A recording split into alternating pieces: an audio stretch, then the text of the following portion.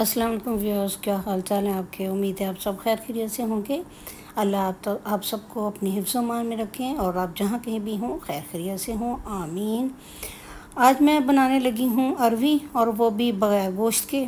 और ये है कि अरवी बनाने को इतना मुश्किल तो नहीं है, लेकिन ये एक तो लसलसी सी होती है, दूसरा इसमें बहुत ज़्यादा लेस होती है तो इसको काटना, इसको बनाना ज़रा थोड़ा सा मुश्किल लगता है, लेकिन अगर हम परफेक्ट तरीके के साथ इसको बनाएँ और इसका हमें पता हो कि इसको किस तरीके के साथ इसको मैनेज करना है, यानी हम इसकी नब्ज समझ लें तो हमें ये बहुत अच्छे तरीके के साथ हम इसको बना भी सकते हैं और इसका लुत्फ उठा सकते हैं, और वैसे ये सब्ज़ी बहुत टेस्टी लगती है।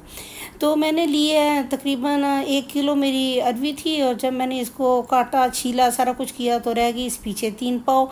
और मेरा हमेशा से ये होता है कि लोग नमक लगाते हैं हल्दी लगाते हैं तो मैंने एक दफ़ा बहुत ज़माना ही हो गया। जब मैंने एक दफ़ा मैंने हल्दी बनाई तो मैंने देखा कि जब आ, आटा जो है वो सारी की सारी वो लेस और हर चीज़ को ऐसे खींच लेता है तो अरबी में से क्यों नहीं खींच सकता? और तब से लेके आज तक मैं हमेशा खुले बर्तन में अरवी डालती हूँ, पानी डालती हूँ अंदर आटा डालती हूँ। और उसके बाद ये होता है कि किसी मधानी, जो कि मैंने इधर, आम, सस्ती सी रेडियों से भी मिल जाती हैं, हर जगह पर मिल जाती हैं, वहाँ से मैंने वो ले कर मधानी, उसके साथ उसको हल्का हल्का मैं बलो लेती हूँ। जब वो बलो जा, बलोने के बाद मैं उसको पानी में से गुजार देती हूँ। अब ये देखेंगे खुद आप खुद देखेंगे कि ये किस कदर ज़्यादा अच्छी हो गई है।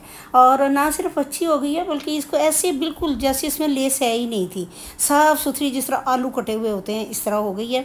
तो जब अरवी इस तरीके के साथ हो जाए तो फिर फिर अरवी लाजवाब बनती है, बहुत मज़ेदार बनती है। ना तो इसमें लेस बनती है, इसका टेस्ट और जायका भी बहुत ज़्यादा अच्छा बनता है। तो मैंने इसको थोड़ा सा घी लिया है ऑयल लिया है ऑयल लेके मैंने इसको फ्राई कर लिया वो इसलिए फ्राई कर कई दफ़ा ना भी अगर ऐसी अरवी में जब लेस ना हो तो उसको ना भी फ्राई करें। आम आप मसाला भूनें, उसमें अरवी डालें और ऊपर से उसको दम लगा दें, वो भी बहुत टेस्टी बनती है और बहुत ईजी तरीका है। मैं वैसे भी ज़्यादातर बनाती हूँ। लेकिन आज मैंने इसलिए ये सोचा कि कोई एक बच्ची थी, उसने पूछा था कि मुझे आंटी अरवी बता दें तो मैंने कहा, मैं उसको बता देती हूँ, अरवी बता देती हूँ, साथ चले मैं भी खा लूँगी। और चूँकि वो नई बच्चियाँ हैं तो उनको ज़रा शायद वैसे बनाना, उसको ना बना सकें। तो इसीलिए मैंने आज इसी तरीके के साथ अरवी को पहले थोड़े से से ऑयल में मैंने फ्राई किया है और जब वो अच्छे तरीके से फ्राई हो गई है तो मैंने उसको सारी को बाहर साइड पे प्लेट में निकाल लिया है। प्लेट में निकालने के बाद मैंने इसी ऑयल में प्याज था। प्याज भी पहले से मेरा कटा हुआ था था भी मोटा मोटा तो मैंने उसको दोबारा से कोई उसको बारीक नहीं किया। उसी प्याज को पकड़ के डाला है, उसमें लहसुन, अदरक का पेस्ट डाला है। पेस्ट भी मेरा फ्रीज़ हुआ पड़ा था, वो मैंने डाला है। आजकल मैं जल्द अज जल्द सारी इस तरह की अपनी कट कुटे हुए मसाले, चीज़ें जो हैं, वो ख़त्म कर रही हूँ, क्योंकि मैंने कहीं जाना है। इन ताला जब मैं जाऊँगी तो आपके साथ शेयर करूँ करूँगी। आपका, आपके साथ अपना सफ़र और आपको दिखाऊँगी कि मैं कहाँ जा रही हूँ। तो ये था कि इस तरीके के साथ मैंने सारे का सारा उसके अंदर लहसुन प्याज जब वो अच्छे तरीके के साथ भुन गया तो मैंने टमाटर डाल दिया। टमाटर डालने के बाद मैंने थोड़ा सा, क्योंकि ये अब से सख्त थे, अब इनको किस तरीके के साथ इनको मैंने पेस्ट बनाना है, किस तरीके के साथ इस मसाले को भूनना है, इसको मैंने इस तरह भूनने के बाद ये किया है कि उसमें थोड़ा सा मैंने पानी डाला था। पानी इसलिए डाला कि ये जो प्याज और टमाटर, ये सारी चीज़ें जो हैं वो नरम हो जाएँ और जो अभी भी, भूनने के बाद भी काफ़ी सख्त हैं, वो पेस्ट की शक्ल इख्तियार कर दें अब मैंने इसमें पानी थोड़ा सा डाला है, डाल के मैंने ऊपर दे दिया ढक्कन।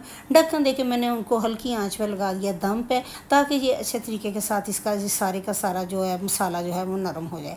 और साथ ही मैंने डाल दिया था, ढक्कन लगाने से पहले मैंने डाला था उसमें ये क्या कहते हैं? एक चम्मच मिर्च का डाला था, ज़्यादा मिर्चें नहीं डाली। पौना चम्मच, थोड़ा सा चम्मच अभी मैं आपको दिखाती हूँ। इतना थोड़ा सा मैंने नमक डाला है। वो इसलिए डाला है कि कुछ सब्ज़ियाँ ये होती हैं कि उनमें नमक तेज़ महसूस होता है जब हम उसे खाते हैं। तो नमक जितना भी, ये देखो पौना चम्मच डाला, मैंने डाला है नमक का। और वो ये हो जाता है कि अगर नमक ज़्यादा डाल लें तो वो कम नहीं हो सकता, लेकिन अगर कम हो तो वो तो हम ज़्यादा कर सकते हैं।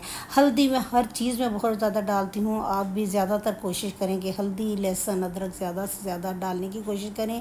ये हमारी जिसम के लिए एंटीबायोटिक भी एंटीबायोटिक भी है और हमारे वो बैक्टीरिया जो कि सही नहीं है, वो हमारे जिसम पैदा हो जाते हैं। उनके लिए भी वो सही नहीं है। अब मैंने ये सारा ये किया, इसको अच्छी तरह भूनना है। भूनने के बाद भी मैंने इसकी कंडीशन देखी है कि वो भी सख्त ही था तो फिर मैंने कहा, ऐसे तो ये मज़ेदार नहीं बनेगा। और इसमें ये होगा कि जैसे एक, वो, सर, गर्मियों में आजकल नहीं होते वो जो कीड़े से निकल रहे हैं लंबे लंबे जिनको जहाज़ भी बोलते थे, पता नहीं उनको अब क्या कहते हैं, पतंगे भी बोलते हैं, वो इस तरह अरबी में भागे फिरेंगे तो मज़ेदार ही नहीं लगेंगे। तो मैंने उठा के इसको पकड़ के ग्राइंडर में डाला है सारे मसाले को। ग्राइंडर में डालने के बाद मैं थोड़ा सा उसको चलाया है। आज मेरे किचन में बहुत बखेरा है, काफ़ी चीज़ें मैंने बनानी थी, मैंने दो तीन चीज़ें बना के रखनी थी तो ये था कि मैं इसीलिए काफ़ी चीज़ें बिखरी हुई हैं।